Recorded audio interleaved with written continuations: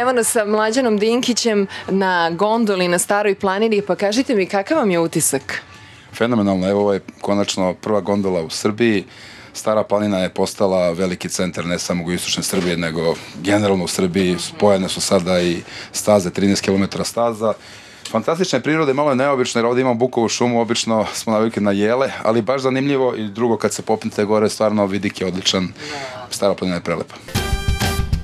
Ja sam protivnik starosti. Kakvi ste vi? To treba pitati Đoleta Balaševića. Dva loša ubiša Miloša. Mene uopšte ne zanima ni jedna stranka. Teo sam više puta da odustanem. Neprijatno mi je da vas pitam. Ko će bre vas da sluša? Pa ja volim izazove. Svira taj narodnjake. Žena ti je najbolji prijatelj. Matorci jedni. Ja zaista nemam čega da se plašim. Na, na, na, na, na, na, na, na, na. Koliko godina vi već skijate? Pa ja sam krenuo da skijam kad sam bio peti razred osnovne škole, prvi put na Borskom jezeru, tad sam prvi put stao na skije i evo sada sve svake godine, svake godine i uživam, mislim da je dobro ko naravno to voli, jeste da mora čovjek malo da rizikuje, brzina nosi izazove, ali svež vazduh, e, dobra planinska atmosfera, kad dođete na svež vazduh, popije vas taj kiseonik i čovjek se potpuno rastereti svih briga. Da, tačno. To je najbolji antistres. A sada iskoristila bih priliku, pogledajte kakav je pogled. Kako se osjećate posle 12 godina niste u vlasti, kako ste proveli ovih godinu dana, jeste se okrepili, kakav je bio antistres program? Moram da kažem da mi je učinjena usluga, jer ja nisam bio zadovoljan kako je vlada radila. Generalno, mislim da posle mene radi još gore, ali bolje je biti van toga i pomoglo mi je možda i da neke stvari uh, laganije razmislim, trezvenije, da vidim šta tu sve nije valjalo, šta mora da se radi, tako da koristilo me u svakom slučaju. Da li ste, kažite mi, ostarili ovaj, po vašem mišljenju više nego što bi u normalnim uslima da tih 12 godina niste radili? Kako vam se čini onako sad kad sve saberete? Pa ja se trudio da uvek radim najbolje što mogu i mislim da je čovek onoliko mlad koliko smo sveže ideje i da nema starosti. Ja sam, ja sam protivnik starosti, ja ću raditi dok sam živ, jer i šta god, nije uopšte bitno šta ću raditi, da li je to država, da li je privatni sektor, da li je obrazovanje. Čovek, ako imate dobre ideje, vi ste večito mladi.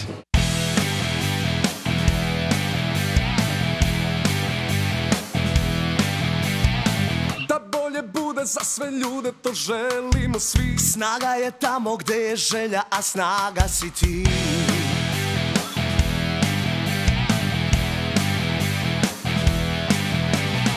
Kad sam vas pitala za starenje, mislila sam više na one varijante dotrajavanja organa, tipa nervoza pa želudac strada, e, tipa stres koji utiče na to da budete razdržljivi i slično. Ovaj, e, da li se zbog nečega kajete, zbog nekih svojih reakcija, možda emotivnih, e, kako ste prošli kroz svih tih 12 godina u vlasti od 2000. do, do 2012?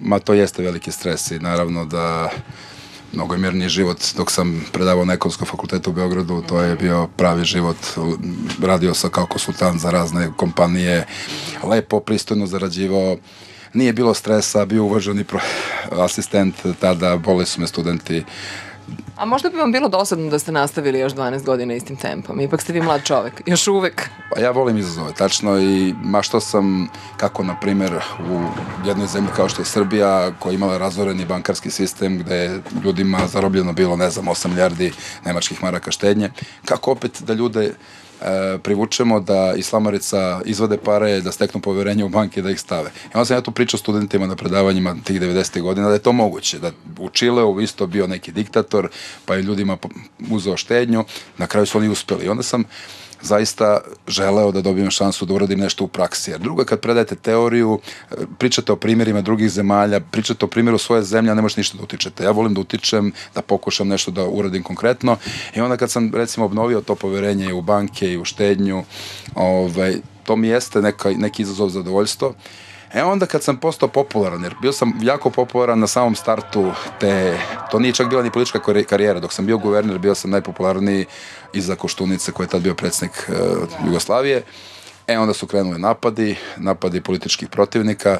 Ono pravilo u Srbiji, dva loša ubiše Miloša, tek sam vidio šta zapravo znači i šta je e, tvorac narodne mudrosti hteo da kaže pod sevanicama, žuta štampa e, i onda su krenuli ti stresovi ako vam izlazi, ne znam, portret na naslovnicama, neke tamo žute štampe, možete tapete da lepite, a sa nekim naslovima koji naravno nemaju veze sa istinom. Da, vas su poprilično onako da kažem ono vređali, mnogo su vas vređali i neki uh, naslovi koji su degradirali i vašu ličnost koji su totalno bili uh, uvredljivi. To se zove u političkoj teoriji e, takozvano političko ubistvo nekog političkog protivnika, jer vi ga ne ubite fizički, ali ga moralno potpuno uništite, da onda u jednom delu e, naroda ga mrze i onda prosto taj čovjek nema više kredibilite da obavlja javni posao. Kako ste se izvukli iz te, Pa. iz te psihoze, da kažem? Prosto nije, nije bilo to lako, to je bilo najteže, hteo sam više puta da odustanem.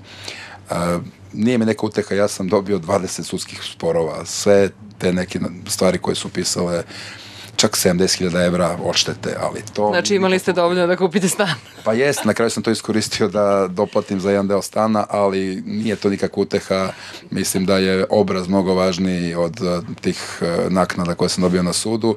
Mada, ajde, moralno sam na neki način bio tu pobednik, ali mi ništa ne vredi kada te laže su ostale u podsvesti ljudi, a znate šta, mogu sam da zaradim novac i da sam predavao, da sam bio konsultant u firmama, da sam, ja sam držao predavanje recimo u Americi gde je bio 5000 dolara za jedno predavanje 97. godine.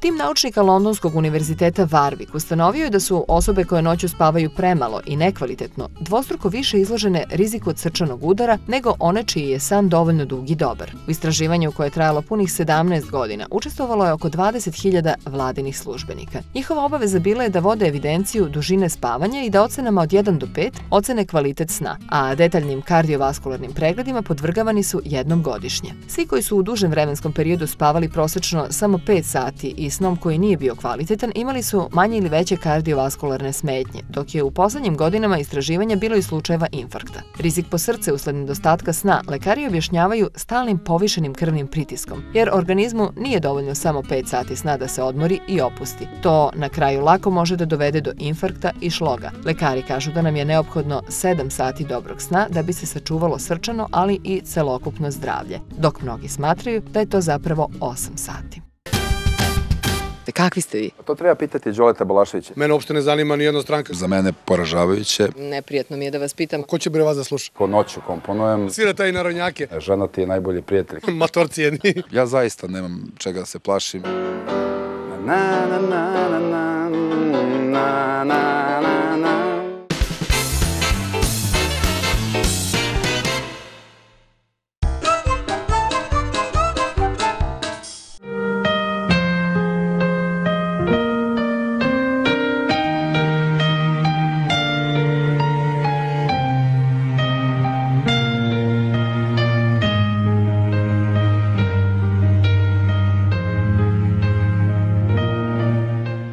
tog novog četvoroseda koji je svečano otvoren danas ovde na Staroj planini i e, ekipa emisije Život u trenu sasvim slučajno se ovde zatekla. Moram da kažem da sam pošla na odmor, ali uvek lepo spojiti e, posao i odmor, lepo i korisno. Pa evo nas sa gospodinom Mlađanom Dinkićem, koga su mnogo prozivali u vezi sa investicijama na Staroj planini, a zapravo rezultiralo je jednim fantastično modernim hotelom i zaista moram da kažem objektivno odličnim stazama. Pa kako se to sve vama čini? Da li ste ponosni? Ja jesam ponosan jer je ovo bio san ljudi koji žive u jugoistočnoj Srbiji. Svi su govorili da je Stara planina prelepa, ali do nje niti je moglo lako da se dođe, niti je bilo ikakvog smeštaja, niti je bilo bilo čega da bi ljudi tu mogli da uživaju. Mi smo pre nekih 6-7 godina krenuli da razvijamo Staru planinu i evo sada imamo 13 km povezanih staza, napravili smo hotel koji je stvarno najlepši planinski hotel u Srbiji, gondola prva u Srbiji, staze, evo sad sam imao prilike da ih vidim e, od onih za početnike. Ja mislim da ako hoće neko da počne da uči da skija, najbolje dođe na staru planinu, bolje su čak nego na, Koponiku za početnike, jer su duže i blaže, a plus ima i onih strmih za ozbiljne skijaše na konjarniku, tako da je ovo zaista fantazija za sve one koji hoće da vode zdrav život.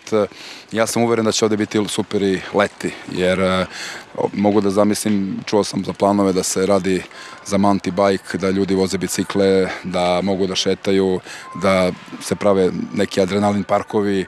Tako da verujem da će Stara planina biti zanimljiva tokom cele godine. I vrlo sam ponosan što smo to napravili.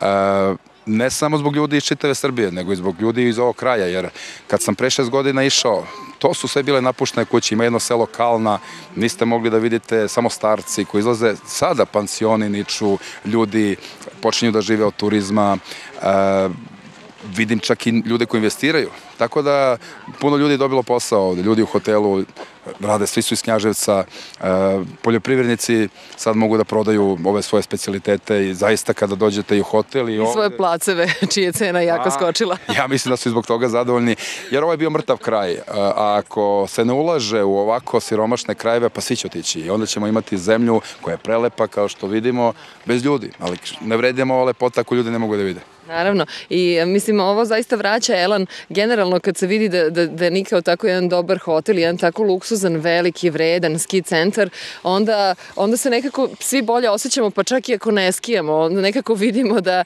da se i u našoj zemlji zaista investira. Pa da, jer isto ovako su radili Austrijanci posebno u manje razvijenim područjima država je bila ta koja je investirala, jer da vi zovete nekog privatnika da vam napravi hotel u nekoj ne dođi, neće on to da uradi. Mora prvo država, pa kad se to pokrene, razradi, e onda dođe i privatni sektor i tako to obično ide. Evo, to smo mi uradili ovde, neki su gunđeli i misli, ma kakva stara planina, ali tek će videti, stara planina sad ima 13 km staza, koja je praktički prva prava sezona na staroj planini. Sad ovde može 8000 skijaša dnevno da skija, ali nema dovoljno smešnih kapaciteta, jer hotel prima 350 ljudi, ima dva odmarališta, tako da će ovde sada ključ biti da se napravi dobar put od Svrljega do Kalne, da se brže može doći od Niša i onda smešteni kapaciteti gde naravno privatni sektor očekujem da će se uključiti.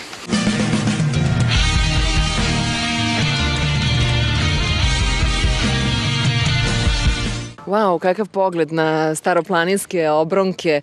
Evo dole se spusti, spustili su se oblaci tako da smo stvarno na nebu. Pričali smo malo čas o politici i o tome da ćete se da, da biste dobro prošli kao profesor, pa kako vam se sada čini? Da li ćete se vratiti profesuri ili je ipak politika nešto s obzirom na to da ste sada dosta e, svog vremena i energije uložili i u pokretanje Ujedinjenih regiona Srbije i u jačanje? Da li ćete se ikada vratiti tom mirnom profesorskom životu? To se nikad ne zna, jer e, niko ne zna šta život nosi. Ja se ne plašim nikakvog posla, volim jedno i drugo. Dakle, volim da razgovaram sa studentima, da im predajem. To činim i sada, ovaj, kao gostujući predavač na raznim ekonskim fakultetima širom Srbije. A ipak politika je jedini način da se nešto konkretno u praksi uradi. Da nisam ušao u politiku, nikad se ne bi napravila stara planina, nikad e, se ne bi napravila fabrika Fijata u Kragujevcu, ne znam, Beneto ne bi nikad došao u Srbiju, ne bi došla Jura sa tri fabrike, e, ne bi možda bila vraćena ljudima stara devizna štednja. Dakle, e, mogao sam sve to da želim, da znam možda kako to da uradim, ali politika je jedno sredstvo da to ostvarim. I zato mi je žao što nema mnogo više boljih ljudi u politici, jačih, intelektualno, sa idejama, vrednih, jer uh, upravo zbog onih napada o kojima smo pričali, uh, ljudi beže od politike, kada vide kako prolaze oni koji, ajde, imaju nameru da predvode Srbiju, videli smo kako je Zoran Đinjić prošao, to je najdrastičniji slučaj. Kad vide meni šta su napravili u moralnom smislu, obraz kako su mi kaljali, onda verovatno ti pametni ljudi kažu, ma daj, sedeću ja kući, bolje da ja gledam svoju porodicu, imam... I svoj biznis. Imam svoj biznis, imam lepu platu, nisam uopšte zadovoljan sa stanjem u društvu, ali kako to da promenim kada vidi ovi kako prolaze kada nešto pokušaju da urede.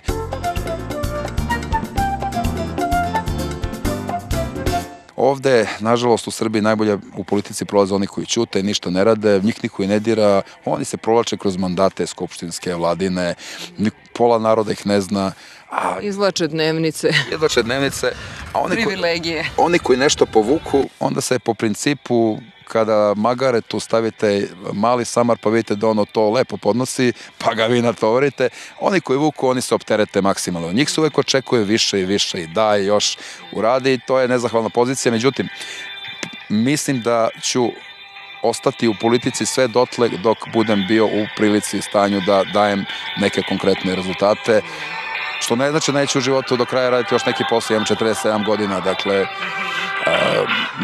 zaista sam spreman na, na, da radim bilo šta što normalno meni pričeljava zadovoljstvo i što je korisno.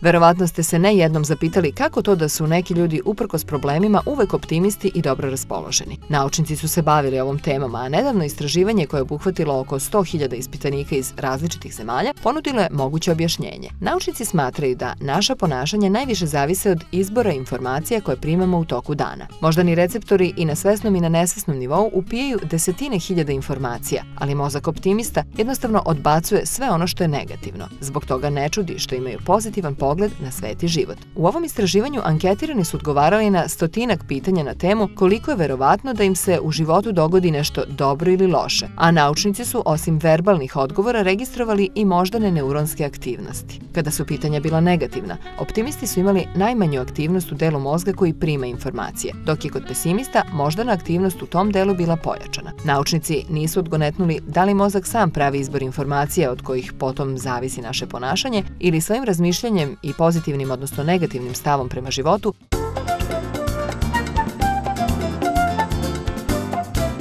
Zapravo ste sada zaista u punom potencijalu svom životnom i radnom, a spomenuli ste neka dostignuća koje su iza vas, između njih Staru planinu, Fiat u Kragujevcu, Benetton i tako dalje, a opet to su sve tačke koje su vam toliko osporavane. Pa kako sad vi reagujete kad vi recimo imate tako veliki uspeh da se nešto tako veliko desilo, a zapravo na televiziji izađe vest kako to uopšte nije dobro i kako je to manipulacija?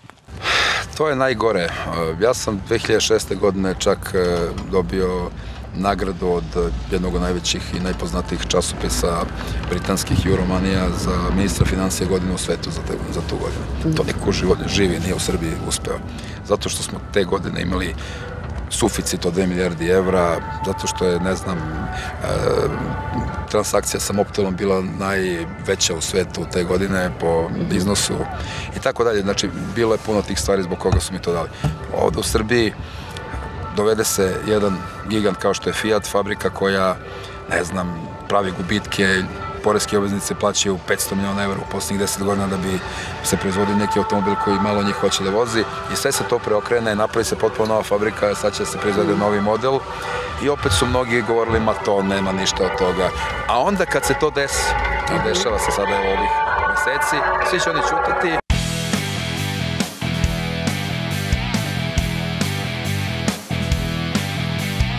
A šta mislite, zašto su vas toliko diskreditovali i ko je naj, najviše to radio?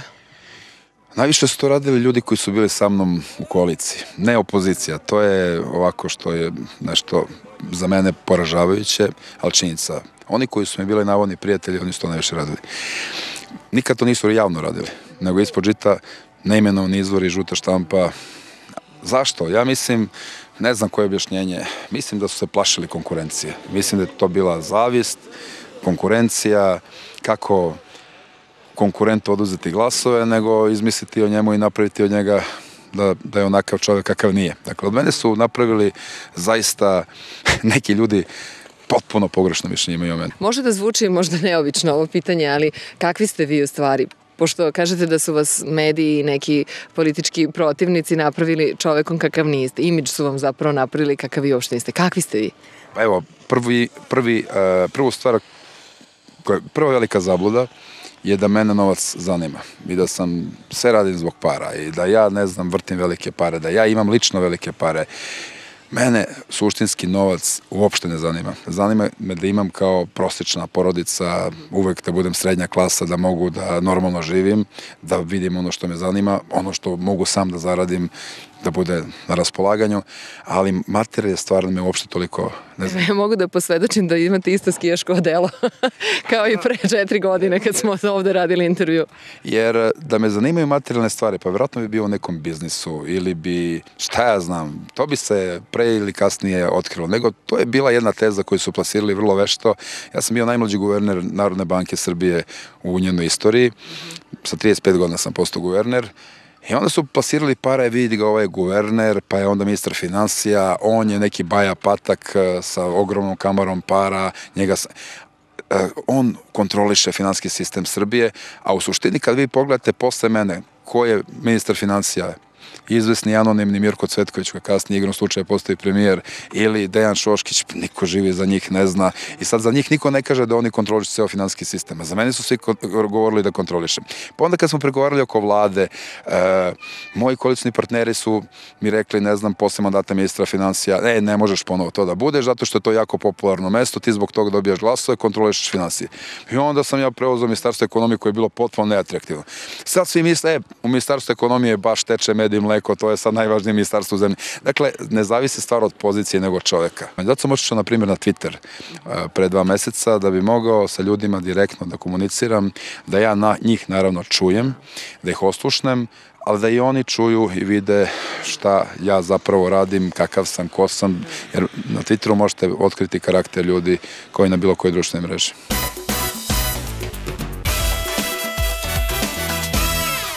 Izraelski informatički stručnjaci kreirali su softver koji je u stanju da na osnovu komunikacije na nekoj od društvenih mreža prepozna osobu koja ima sklonosti ka depresiji. Softver koristi napredne semantičke analize pa depresiju može konstatovati i iz skrivenih pojmova i reči. To znači da nije potrebno da neko napiše loše se osjećam da bi se detektovale depresivne emocije, jer ovaj napredni program sa značajnom pouzdanošću prepoznaje loše raspoloženje i crne misli i bez njihovog eksplicitnog navođenja. Tokom testiranja ovog softvera naučnici su analizirali analizirali čak 350.000 različitih zapisa i tekstualnih poruka, koje su dobrovoljno pružali na uvid blogeri i volonteri. Kada je softver neke delove teksta i poruka prepoznao kao depresivne, oni su prosleđivani doktorima i psiholozima koji su ih analizirali, a potom lično razgovarali i obavili testove sa osobama koje su ih pisale. Depresiju ili njene početne simptome lekari su ustanovili u 87% slučajeva, pa se ovaj softver pokazuje prilično pouzdanim. Naučnici mu predviđaju sjajnu budućnost jer može da otkrije depresivne sklonosti kod osoba koje nisu svesne svojih problema. No, ovaj program ima i svoje ograničenja. Moći će da ga koriste samo oni koji sami pristanu na ovu vrstu detekcije svog psihičkog stanja. Šta je još zabluda o vama?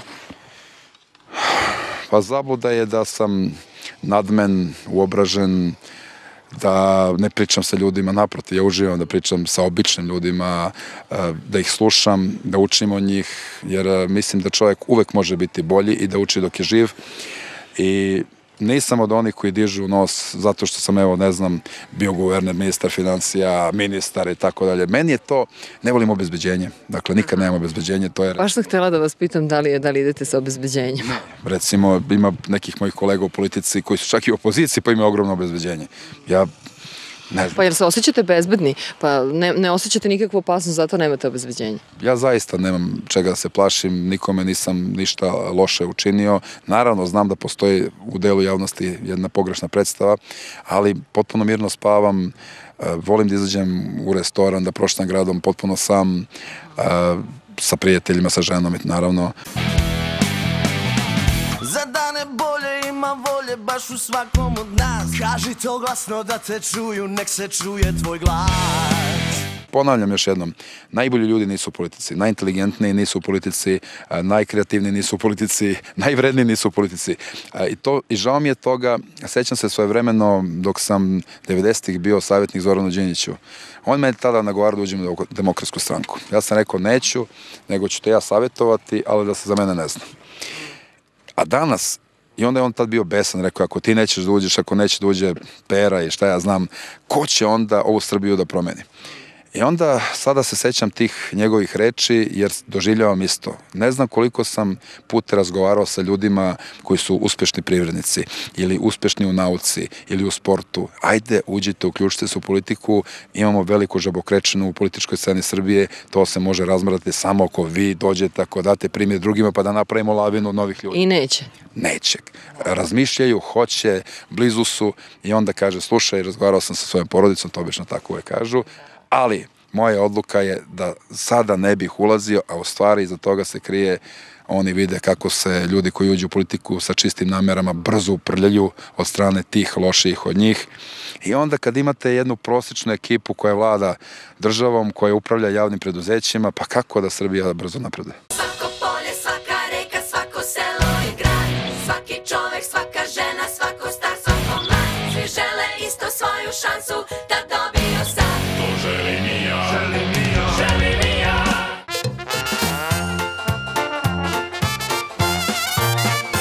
I estetik centar Dr. Weiss bio je prisutan na Staroj planini i to u vidu Sneška Belića, koji je napravio deo njihovog tima. A danas je pitanje doktorki Vesni Ignjatović, stručniku za probleme sa kožom glave, lica i stopala, te noktima i kosom je zašto kosa opada na pečate. Alopecija rata ima jednu optimističnu formu u smislu što vrlo često daje mogućnost ponovnog rasta kose, čak i spontano, bez ikakve terapije, ali su dlake koje rastu iz te spontane regeneracije vrlo slabe i e, kratkog životnog veka. Zbog toga je neophodno sprovesti i terapiju kod alopecije areate.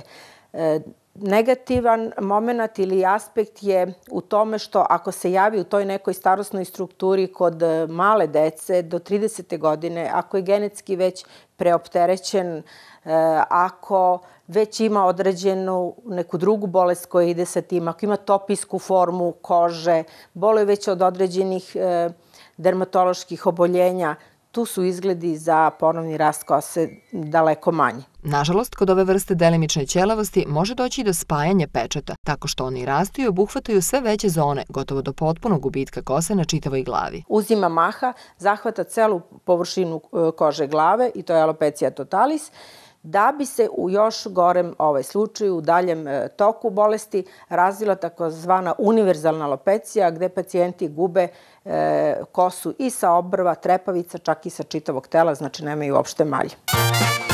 Prognoza tih malignih alopecija, tu su ofijaza, e, totalna alopecija i univerzalna alopecija, je loša iz prostog razloga što će ti pacijenti čitavog života ratovati sa ovom alopecijom i nažalost samo je 20% onih kod kojih imamo ponovni rast kose.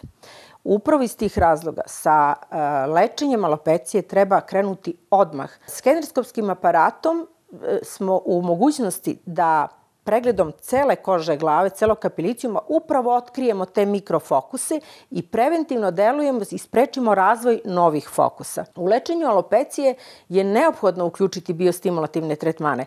E, dlaka koja je zahvaćena tom imunološkom reakcijom, imamo i jednu limfocitnu infiltraciju oko folikula dlake, što upravo govori da je to jedna autoimuna bolest, i dolazi do kidanja te dlake. Dlake koje se vrlo često vide skenerskopski kao znak uzvika, nisu dobre dlake, nisu dlake koje rastu. To su, nažalost, upravo one pokidane dlake koje imaju sudbinu ispadanja. Koža glave mora da se očisti od tih umrlih dlaka, ali u čemu je smisao terapije? Upravo u fazi formiranja nove dlake koja kreće da raste iz tog folikula. Treba suzbiti tu imunološku reakciju lokalno. Treba uključiti jake biostimulativne e, tretmane koji podrazumevaju kućnu terapiju, koji podrazumevaju lasersku biostimulaciju i treba uspostaviti jednu psihofizičku ravnotežu e, kod pacijenta. Ova neprijatna pojava nepovoljno utiče i na psihu pacijenta usled straha od preteranog pa i potpunog gubitka kose. A time dobijamo još jedan uzročnik opadanja kose – stres. Ja uglavnom savetujem da ako je već ta alopecija reata uzela puno maha i vrlo je teško kamuflirati te pečate na glavi, onda je bolje uzeti jednu dobru kapilarnu protezu znači skinuti onaj višak kose koji ima na glavi, to jest onaj manji deo kose koji je ostao. Pacijenti se na taj način e, psihički relaksiraju, opušteni su jer e, nisu prosto žigosani u odnosu na ostale i takav jedan psihički relaks sada omogućava da krene jedna spontana e, regeneracija dlake iz samog folikula pomognuta normalno onim biostimulativnim procedurama koje mi sprovodimo. To treba pitati Đoleta Balaševića. Mene uopšte ne zanima ni jedna stranka. Neprijatno mi je da vas pitam. Ko će bre vas da sluša? Po noću komponujem. Svira taj narodnjake. Žena ti je najbolji prijatelj. Matorci jedni. Na, na, na, na, na, na, na, na, na.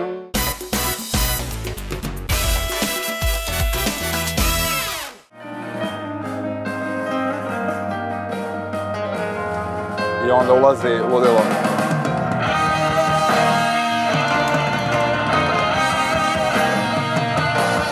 Dobra je, dobra je svirka, znaš, dobra je svirka, generalno te album. To je taj sentiš koji je Mlađan Dinkić e, komponovao, Kiki otpevao, a tekst napisao Đorđe Balašević. Eto, mi smo bili u ekskluzivnoj prilici da ovde uz kaficu to i čujemo kod Kiki Alessandrića u studiju. Kiki, je li mlađe odsvirao neku gitaru za ovu pesmu? Vidim da je, iako je balada, da je ipak ono, ima dosta gitarskog momenta. Nije mlađa ništa svirao, ali je svirao klavir.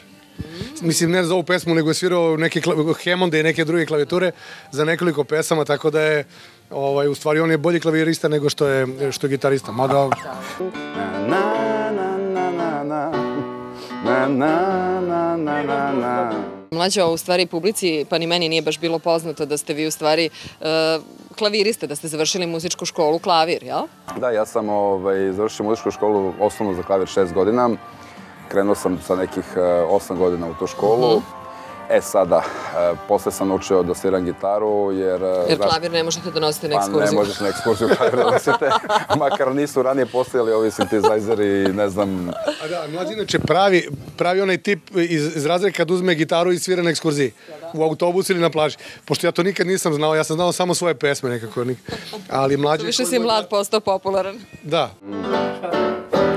Na, na, na, a to bez nam. Ako bi očekivao mlađe, jel tako, vas svi doživljavaju kao vrlo serioznog tipa, onako ipak financije, ekonomija, politika, vlada, ekonomski fakultet, a vi u stvari zabavljač u duši. Ne, muzika je jako ozbiljna stvar.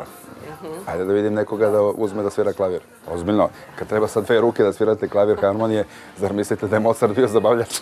Ne, ne, nisam na taj deo, mislim, nisam se na ovaj deo s gitarom i ekskurzijama. A dobro, dobro. Ja mislim da je e, muzika nešto što, i generalno umetnost, što čini čoveka e, senzualnim, boljim i ako je neko kreativan kao što je Kiki ili bilo koji muzičar koji ne samo što ume da peva, nego komponuje, stvara e, muziku koja se drugima dopada. Mislim da je to vrh, vrhunska stvar.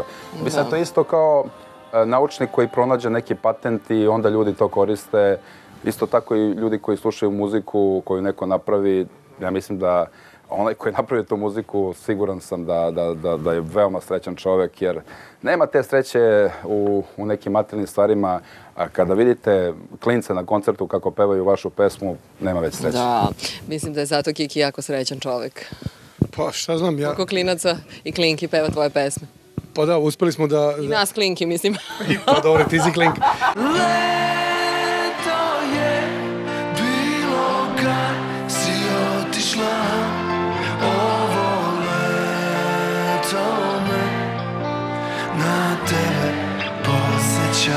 Očigledno je da je Mlađan Dinkić zaista ozbiljan i dobar muzičar kad si ti stavio njegove pesme ponovo na svoj album. Čekaj, koliko? Na ovom albumu ima dve, jel? Tri. Tri. Tri. Wow, aj pusti ovo. I, I sve tri su jako dobre. Hajde da u pozadini slušamo to dok pričamo. Ovo kao još uvijek nema teksta, ovo još uvijek na, na mom svakiliju. Ovo fali tekst ovdje. da. Inače, potpuno drugačije vid. Nije, nije, nije je već ono malo protest. Dobro, Mlađa, možda ćete vi da napišete tekst. Ne, Kik Ako je tu stignete majstor. u avionu dok negde Kik- letite. Kik je tu majstor. Blizu je, blizu je to. Ja volim da se krčka, nekako su mi te reči bitne i pogotovo ova pesma za koju smatram da je jedna od najboljih na albumu, jako mi je bitno da budu reči i, ovaj, iza kojih stojim. Mlađo, na kojoj ste vi muzici odrasli? Ovaj, šta je to što ste vi kao mlađi voleli da svirate i što danas možda ovaj, rado slušate i izvodite? Ja sam vas jednom slušala na jednoj svirci, ovako neformalnoj, na žurci. To je bilo i popa i roka. Pa, čovjek kako odrasta, tako i menja ukuse. Ja sam krenuo sa hard rockom, dakle, potpuno... Kao mnogi iz eh, naših generacija. jeste, Deep Purple, Led Zeppelin, to je bilo to doba.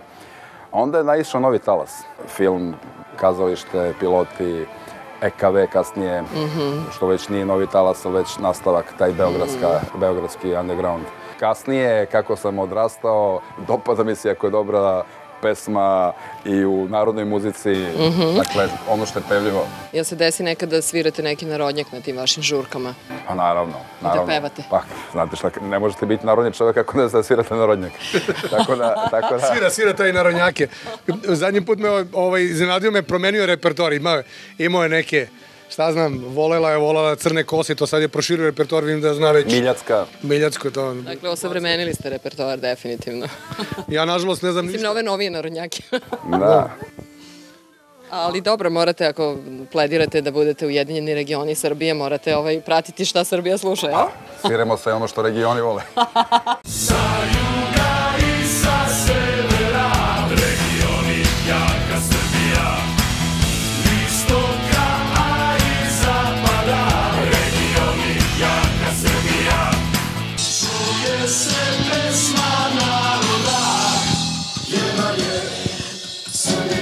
Mlađo, evo Kiki je izašao da ne bude zabune, ovaj, vi ste pisali tekst, ali on nije pisao muziku. Jeste, ovaj, ovo je moj tekst, a muziku je pisao neko ko je želeo da se predstavi pseudonimom Orfej. ja, kažite mi, mlađo, je li ovo himna Ujedinjenih regiona Srbije ili je samo još jedan vaš hit? Ne, ovo je pesma koju sam napisao za regione, jer e, prosto bavim se time već nekoliko godina, stalno sam u muzici, a evo, nikada nisam napisao pesmu koja je vezana za to, tako da sam želao da malo eksperimentišem. E sad, to se jako ljudima dopalo i verovatno će to kada krene kampanja biti naša zvanična himna. Da, da, prava, prava ovaj, navijačka pesma, moram da kažem i pohvalite Orfeja i pozdravite ga emisije Život u trendu. Moram da kažem da je Orfej zaista jedna poznata faca u svetu muzike, ali ovo odradio fenomenalnu muziku. Mi smo to radili još jesenas, sreli smo se, ja sam mu rekao imam ideju to da napravimo, on kaže e, imam ja ideju za jednu navijačku pesmu, krenuli, uradili, ja napravio tekst, on muziku, aranžman, pomogao mi je, doveo muzičare, e, zvali smo ljude koji pevaju po lokalnim klubskim bendovima širom Srbije, napravili jedan band aid od jedno 15 ljudi koji su na ovome radili, pevali, svirali i to je to. Nadam se da vam Delije i Grobari neće mnogo zavideti, ali neka zavide šta ima veze. Pa dobro, himna je himna.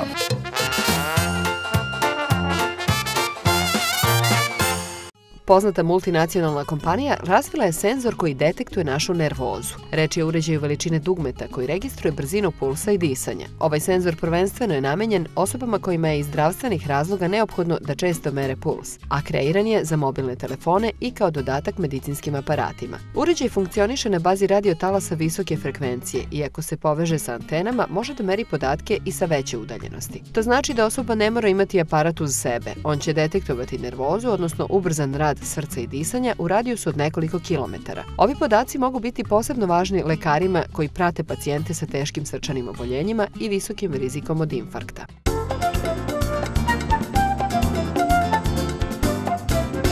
A sad ovako objektivno, ovaj, da, li, da li mlađe dobro svira gitaru i kakav je po tvom mišljenju on ovako kao muzičar i kompozitor? Znaš šta, mi smo prošle, u zadnje tri godine smo imali, pa bar je bi- bio si gost na jedno deset koncerta, u stvari ne gost, nego je svirao sa nama. Uh ka, on ozbiljno se to shvata kad e, vežba kući, uglavnom sam sa svojim slušalicama, kad ima vremena, onda dođe sa bendom, napravi jedno dve probe i to je okej. Mislim, uklopa se u bend, benda, ima nas jako puno, već imamo tri solo gitare, on je četvrta.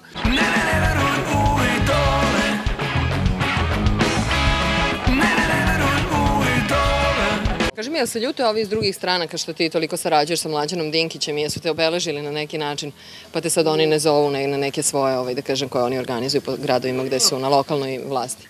Pa pretpostavljam da, zato što ljudi uve- uvek kod nas gledaju e, pripadnost strankama, ne pripadnost e, zemlji, pa i šire od toga. Mene uopšte ne zanima ni jedna stranka, interesuje me samo dobri ljudi koji znaju da rade svoj posao. Uopšte me ne zanima da li su ili Goranci ili su Albanci, šta god. Ako su građani ove zemlje, to je za mene najvažnije, korisni. Ali kod nas je očito politika podelila sve to na te neke linijice koja je koja stranka. Iako su te stranke, po mom mišljenju, prilično slične, da tako uslovno rečeno kažem, dakle sve su na nekoj demokratskoj liniji, ovaj, pa je li ima između njih ovaj, stvarno to, te vrste animoziteta? E, Ko, ko je čiji muzičar, ko što je ranije kažem, bilo u da nešto prošlosti? kažem. Onaj ko zna Kikija zna da kad bi mu ja dao neku pesmu koja ničemu ne valja, on bi ih odmah bacio u đubre. Kao što bi to učinio. Zamislite sada da Kiki uzme neku pesmu Borisa Tadića, Tome Nikolića ili ne znam koga. Pa ako oni naprave nešto što nema blagog smisla, pa nije lud da žrtvuje svoju karijeru, pravio karijeru pre 20 godina i sada izađe pred publiku s nečim što je smeće. Tako da, eh, ja lično mislim da, da pravim mnogo bolje pesme nego što sviram, to Da, objektivno da. pričam za, za sebe. I drugo, da te pesme ne veljaju, publika ih ne bi pevala. Jer publika i ne zna su to moje pesme i to je Da. meni najveća sreća. Koja je vaša najpoznatija pesma? Odnosno najdraža možda po vašem mišljenju? Pa dobro, na, na prošloj ploči uh, je bila Uvek te đavo nađe lakše nego ja, recimo, poprilično... Vidiš, ja nisam znala da to je, ovaj, to je prva saradnja njega i Đoleta Balašića, prvi dobar tekst koji nam je, onda Oltar takođe, opet Đole je napisao te fenomenalne reči za, za mlađenu muziku, od, od te pesme smo i počeli.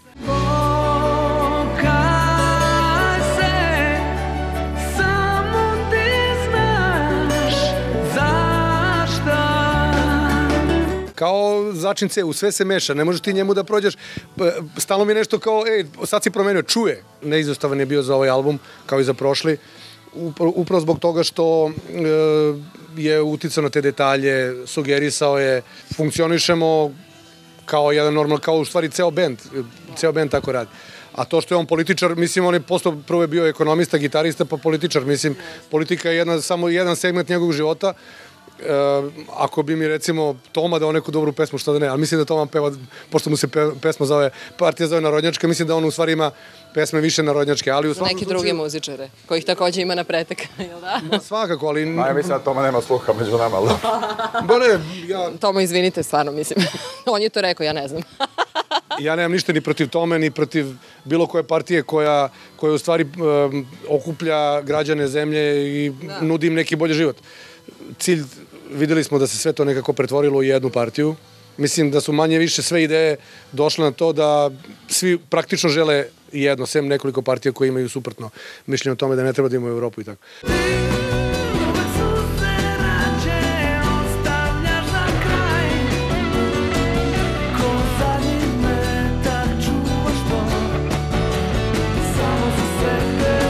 Mlađu sad ste izazvali Tomu Nikolića da i on napiše neku pesmu. Ne I da će je da Ali interesuje me kako vi, e, u kojim raspoloženjima komponujete, da li treba da ste tužni, dirnuti, ljuti, besni? Prvo da kažem da mislim da svako ko pledira da bude čovek koji ima utjecaj u društvu, mora da ima sklonosti ka više stvari. Ne mora to bude muzika.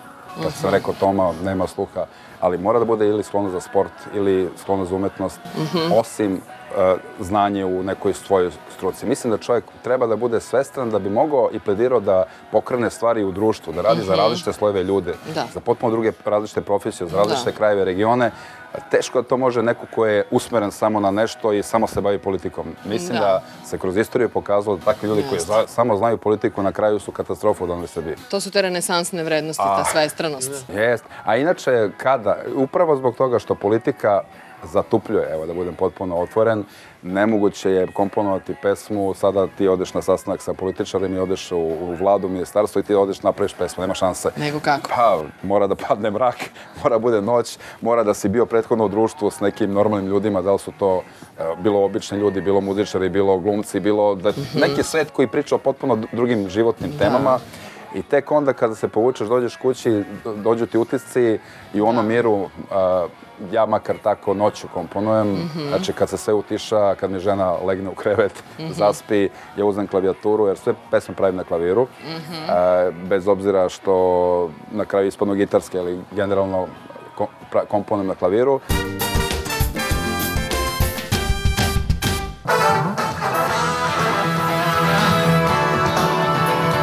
Snežana, ovo ti isto moja. Ovo. Potpuno drugačije od ove kiki kod ono, već malo. Malo. Malo ko kombinacija robija.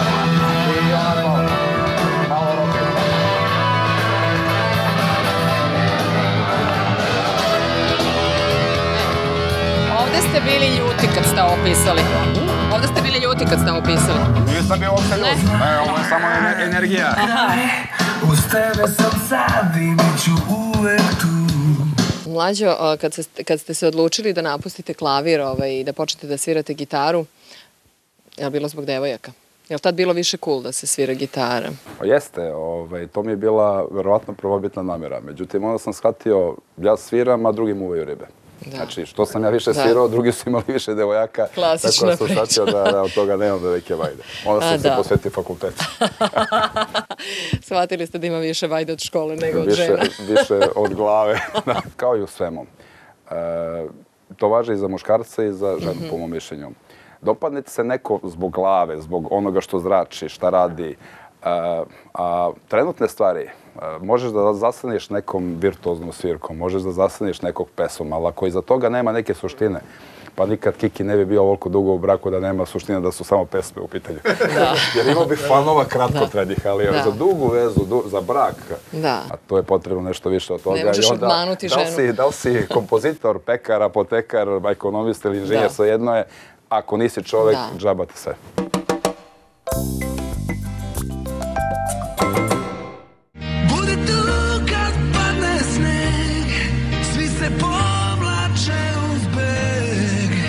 Zanimljivo da je ovo, ova pesma ovaj, koju, za koju mi Đole napisao tekst Budi tu kad padne sneg nastala baš u momentu kad ste vi izašli iz vlade. Ili ima neke simbolike u tome? Pa to treba pitati Đoleta Balaševića. Ja sam muziku napravio još ranije, dakle Aha. skoro pre dve godine. To je bila jedna, tri možda. možda čak i tri godine. Je- To je jedna od prvih pesama za ovaj novi Kikev album koja je nastala. A onda e, zamolio sam koji na prošloj ploči Đoleta, našeg prijatelja, da uradi tekst. Njemu se pesma jako dopala i igrom slučaja to se dešavalo u momentu kada sam ja odlazio iz vlade ili kad sam bio izbačen iz vlade, kako god hoćete. I ja mislim da je ovaj tekst e, e, koji je Đole napravio ima simboliku i mislim da je u glavi imao neke ljude. Pesma je dvosmislena. Da. Jer kaže, još jedna laž, kruni sam paž i stari dvor sa novim ludama. Pa može da pomisliš tako hoće. Jeste, i Nušić bi tako rekao. Pa, Histerija Popović.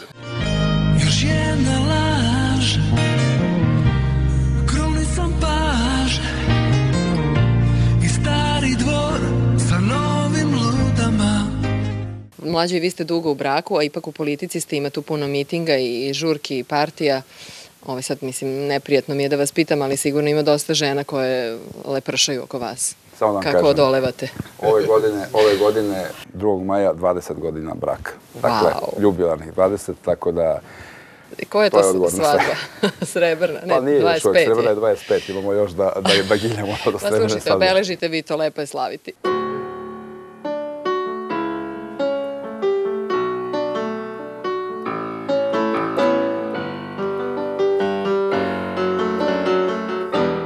Dugo ste u braku, ovaj, pretpostavljam da na dobar način utičete i vi na suprugu i ona na vas, a koliko je važno njeno mišljenje? E, savetuje li vas ona o, o važnim pitanjima kada dođete u neku nedoumicu, kada kući dođete neraspoloženi, ono, koliko uopšte uzimate u obzir njeno mišljenje? Mislim da je to jako važno, jer e, nema dobrog braka ukoliko jedan partner drugu ne podržava kada su teška vremena i ako nema takvog saveta, čovek kada, kada, kada je sam, mnogo teže se probija kroz život nego ako ima dobrog partnera u braku. To ja mislim važi i za muškarce i žena. Moja žena meni i tekako puno pomaže sa e, spuštanjem na zemlju nekada kada pokušam da se odlepim. E, mislim da je dosta pomogla da za sve ove godine koliko sam u društvenom životu ostanem normalan. Jer zaista e, kada je bi- bilo puno trenutaka, jedno vreme sam bio malte najpopularniji u zemlji dok sam bio guverner, kada su me ljudi vukli ovamo, svi su rekli ti si super, ti si naj, a onda je ona dolazila kući i rekla, ej, oni ti to govore samo zato što si na vlasti, sutra kad ne budeš bio kreneš ti leđa. A je on I to tad nije prijao? Kad se dešavalo, da ste tad govorili Pa što si ljubomorna. Ne, e, tačno, desi se na prvu rečenicu da reagujem e, agresivno, međutim kako prođe par minuta kada shvatim da je to to i posebno kad se to i desi zaista sutra, onda jasno je, žena ti je najbolji prijatelj kao što je muž ženi najbolji prijatelj. Kiki, je li to tačno? I ti si dvadesetak i više godina sa svojim suprugom. Ma da, ali mlađena žena, Tanja je u stvari rekla kad smo počeli da snima, snimamo, ko će bre vas da sluša? Matorci jedni. Međutim, posle, posle je videla da, da se prevarila oko toga, da, da smo u stvari mi tvrdoglavi i da znamo šta radimo i da smo ovaj, u stvari istreni bez obzira na, na, na njihova mišljenja. Mi, mi smo ti koji vučemo, a žene su bitne u svakom slučaju da, da nam poslove čorbicu i da jednostavno budu temelj, temelje našeg života. Sam. Bitni su za ravnotežu, jer e, mi visoko poletimo, a one spuste i suviše nisko, onda bude sredina Da. koja je opet mnogo bolja nego ono što su. Da, da. Tako da je to bitno za, za ravnotežu.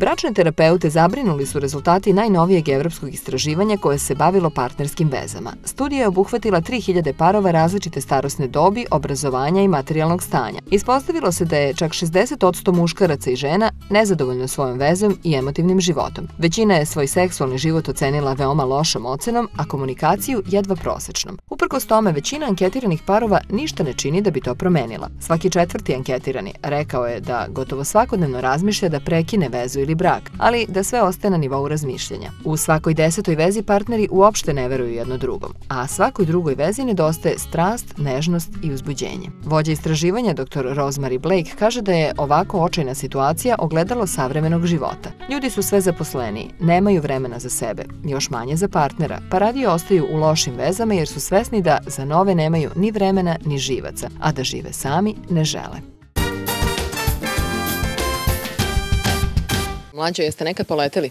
Visoko, rekli ste mi da, naravno, i bili ste jako popularni i u politici moć čoveka pone, ponese, pa makar ona bila i kratkotrajna. I kako ste se sa tim nosili? Pa moram da kažem da 90. godina, kad je još Milošević bio na vlasti i kada sam ja samo razmišljao šta bi radio ako bi jednog dana bio guverner, e, upravo zahvaljujući e, mojoj ženi Tanji, čitao sam dosta knjiga iz srpske istorije i vidio sam da su svi oni koji su u našoj istoriji poleteli kao vladari, vrlo brzo pali i na kraju jako neslavno prošli. Tako da sam psihološki se spremio za ono što me čeka, čak i kad nisam bio to što jesam. I u tom smislu nisam nikada preterano letao. Dešavali su se neki trenuci, ali imao sam i puno perioda otrežnjenja. Recimo, prvi put kad su me smenili s mesta guvernera Narodne banke 2003. godine, tačno sam video ko su prijatelji, oni koji su sa mnom otišli iz Narodne banke, a ko su oni koji su bili sa mnom navodno ljubazni samo zato što sam ja bio guverner. Družim se s onim ljudima s kojima ću se družiti kada budem bio i neko i ništa i prosto ljudi su ljudi a, ako s njima možeš da podeliš dobro i onda kad je zlo, a ne samo Da. ako su tu kad je dobro. Dobro, ovo je i fin šlagvrt za završetak ovog razgovora. E, Kikijev recept za srećan život znam, čak sam ga skoro i citirala. E, Počnite svaki dan kao da je prvi i to je stvarno dobra pouka. Ali me interesuje mlađin recept. Pored onog uputstva ko visoko leti, nisko pada, da se setimo one narodne. Radujte se svakom danu, jer e, ko zna koliko će ih još biti. Dakle, svaki dan je priča za sebe, kad ustanete napred i sve od vas zavisi. Ili što bi rekli latini, carpe diem. Hvala vam, momci. E, hvala Kikiju, a mlađo vama hvala što ste bili gost emisije Život u trendu. Hvala vam.